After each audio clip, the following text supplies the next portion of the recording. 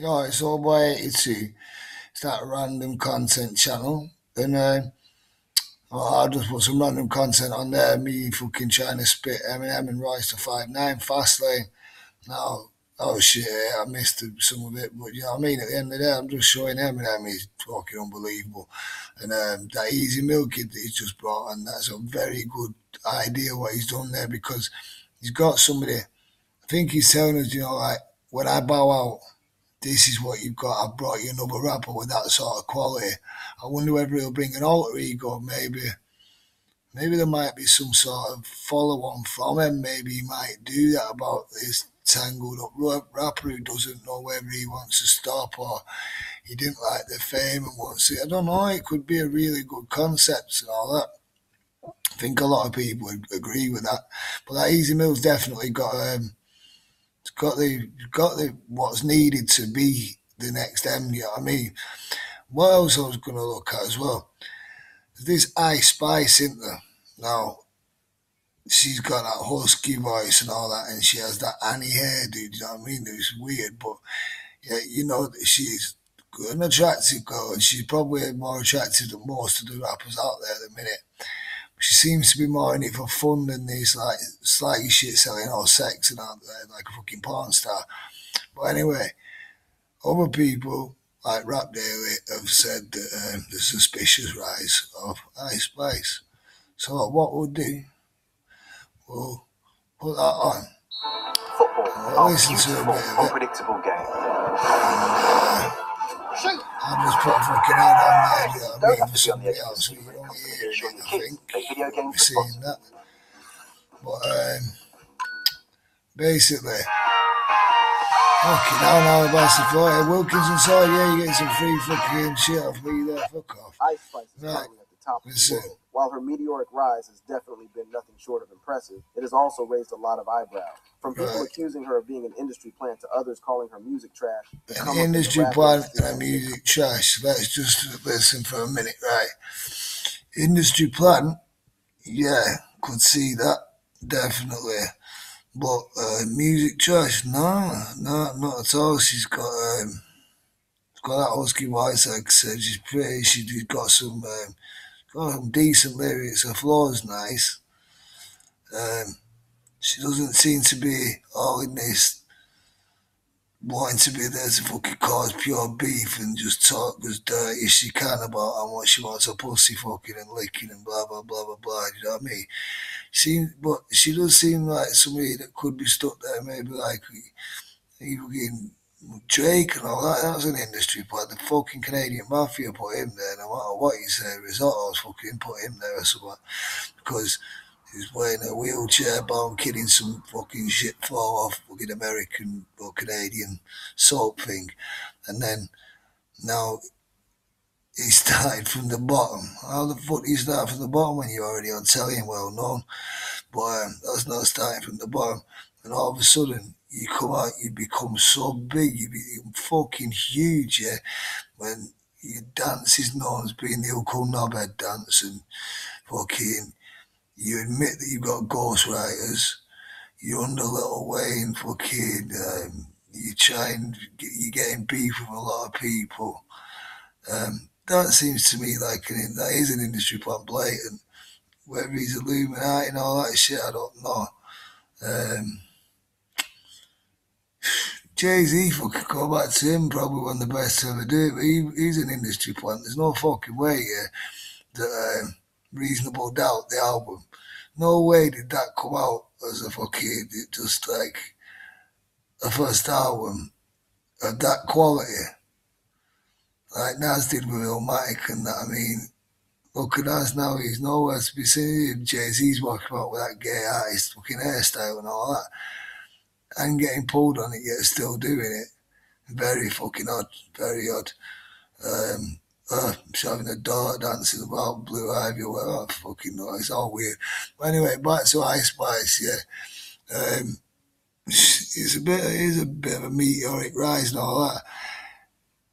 Maybe Nicki Minaj is doing what I said about Ez Mil, bringing in somebody fucking big to fill her boots when she's gone. But oh, let's listen.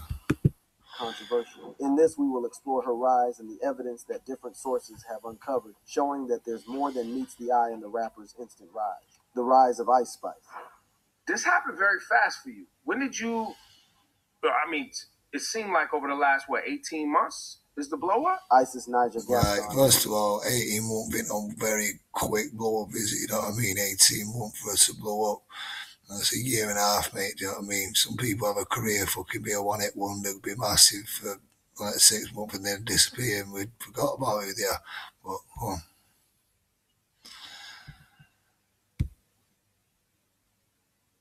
alias Ice Spice, has taken over the rap industry from the blues. From making records with Nicki Minaj to Kanye West's daughter trying to impersonate her, the rapper already has a large influence in the hip hop scene. However, such monumental success within a short period of time is bound to attract criticism, and Ice Spice has definitely. Can I just say, like, on the formats we're doing on this platform now, I do the random content, I do anything, but I do cover crime as well. And Mr. Baldwin, strange, dark, mysterious, and that never mentioned at the beginning he was a soldier and all that, but he never mentioned that he had a Nobel fucking uh, or a Pulitzer Prize winning sister. His other sister ran some massive um, ABC network or some shit like that. And the fact that he got 7 million subscribers now, nearly 8 million, right? And then Michael from that chapter, big up, right? Uh, the Irish guy with glasses. Listen, he's he's got like two million something maybe, do you know what I mean? And it took him like ten years to get that.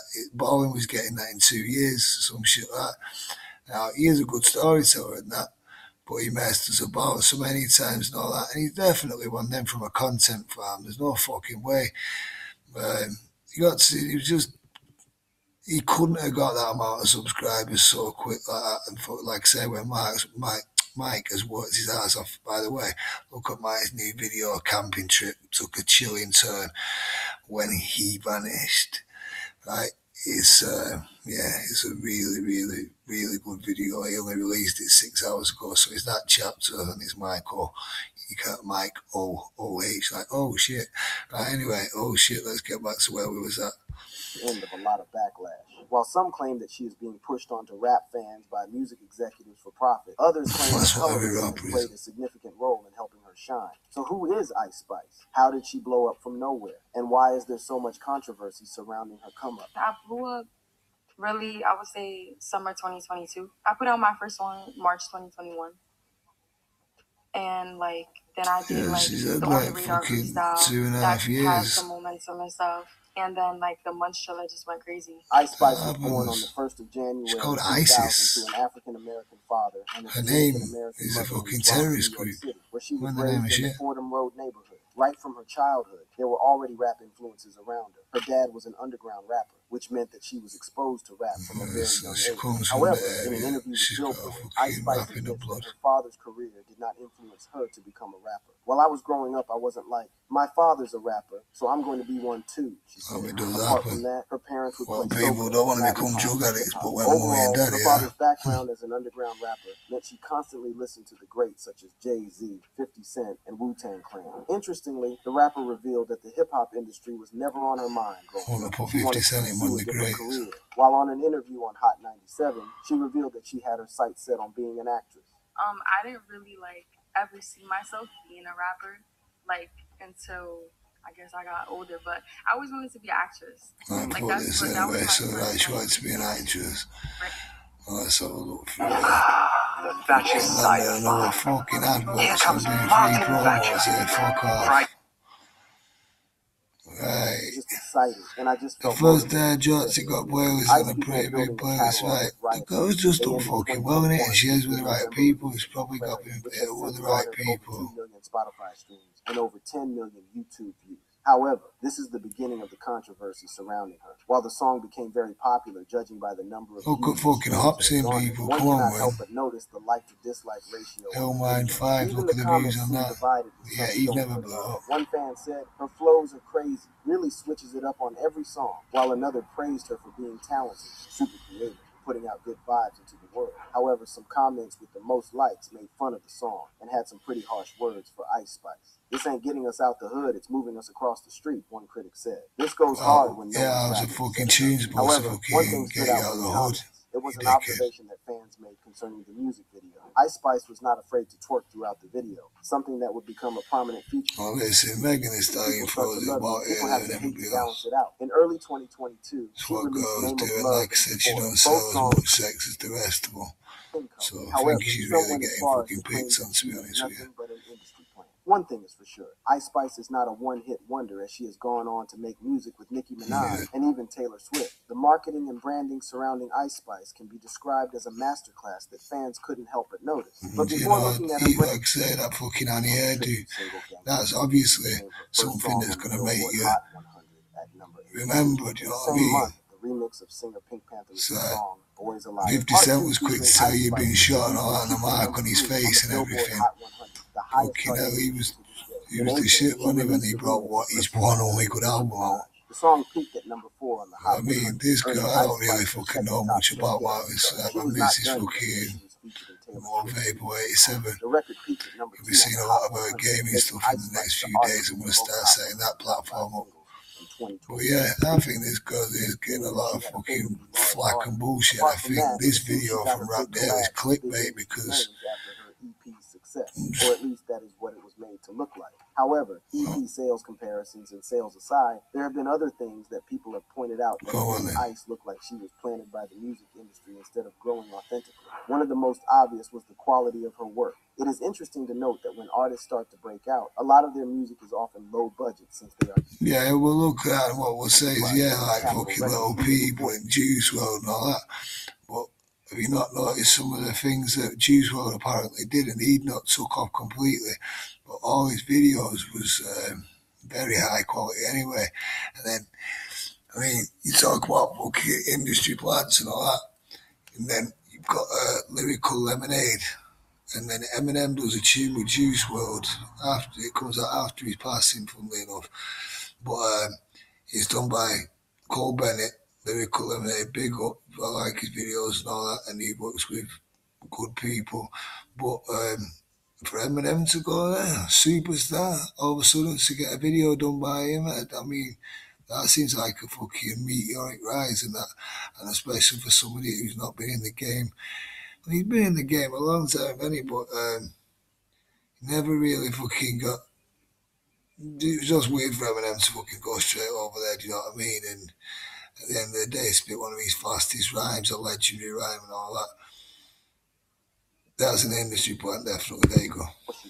Remember, Drake had flown her and her team out to Toronto after. Oh, there Drake fucking out. Like I say, everyone was certain. That was definitely an industry point. He start from no However, bottom. there was trouble in paradise. He start from nothing. That Drake had unfollowed Ice Spice on Instagram. that, man. Anyway, at the end this of the day. Important as it will explain how Ice Spice got her feature with Nicki Minaj. It may be that the collaboration with the legendary female rapper was not because she is talented, but because she is connected. Nicki Minaj isn't a legendary female rapper, so she's the first artist who he collaborated. like really the only relevant one, and she's with Lil Wayne, probably one of the most talented rappers in the world. Yeah, I mean, definitely one of the most talented rappers in the world. Top five lyrics as they do. Well, like, it's just I was watching that, she's joining with that fucking guy she's 6 9 Oh no, but fucking at the end of the day. From one of the hottest female rappers the industry I was thinking that she probably, I don't know, she's probably sucked the right dicks and all that to get where she's fucking going. Or at the right pussy, I don't know these days. DJ Akademiks and all that fucking. With the rapper's record label to constantly keep piece of shit. Although DJ Akademiks did not reveal this directly, he revealed in an interview that 10 K Projects had hired him for a similar project. And I know the picture of Tekashi 69 and all that. Now, that was an industry brand. Look how quick that motherfucker come up with this whole story about the fucking grassing and all that midnight motherfucker. Then he's, at the end of the day, he's, he's back in fucking, he's back in the rap game and all that, and nobody's done him. And then all these fucking stupid things about him getting that little beating and all that a lot of shit to be honest with you. But anyway, back to that ice spice, yeah, fucking, I mean, come on, man. The fuck, a lot of shit, they fucking, people want something to talk about. Let's have a look at some of these comments, man. It's definitely suspicious, especially when you have pure lyricist MCs that's been there since 2007. Whoa, they've been there since 2007. Hey, eh? Jesus, fucking hell. You know what rappers have been there since the fucking late 80s, early 90s, you might come making great albums and still not getting the recognition they deserve or accolades. It says a lot. It's because of fucking, like Em says, he has got Gen Z and all that. You're not fucking watching, really. You don't know shit, there. Dre 953. There's nothing surprising about a new film female artist using a sex appeal game in a lot of hate online because a lot of people, primarily men, feel it's an unfair cheat code. It's not unfair, is it? Fucking she guy's gonna flaunt it. Fuck at the end of the day, I think she's a good rapper. She didn't, like I said, little people that they done all that where they was doing all this, the, um, the SoundCloud stuff and all that, and they really should have got places. You know what I mean? But you know about the rap game and that as well. You know you got to sell your soul in it. So at the end of the day, she very, very much might have done, you know what I mean? I don't know whether, I think Nicki Minaj may have done it. I'm pretty sure Lil Wayne doesn't and hasn't, and like Eminem and that, because look on, the recluses, they're fucking both recluses. That's because they won't, they won't do what's asked of them, do you know what I mean? Um, oh, fucking, it's weird, man. Uh, but yeah, listen, uh, industry plant, she's not she's fucking somebody that very well, you know, just had a lot of PR behind a good fucking, a lot of, lot of good uh, people around her who got, got what she needed, good manager basically. Just look at the end of the day, she's got some appeal to put across.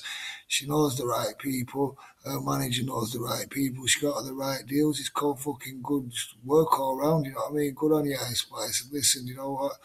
Fuck all the haters. At the end of the day, people like you, you haters, you actually fucking make people fucking more famous. So there you go. That's why she's so famous, because people like you are hating. Fuck you. But you know what? You're allowed your opinion when you're okay. Big up to Rap Daily for doing that rather shit video. But um, listen, the end of the day, I'm just starting. I just want people to like my shit. So end of the day, but that's my true opinion. She, nah, she knew part. It's fucking like I said, Jay was. We can talk more about that if you want ask me, and we'll do it. Well, that's all boy 82, that random content show. Take care. Bye bye.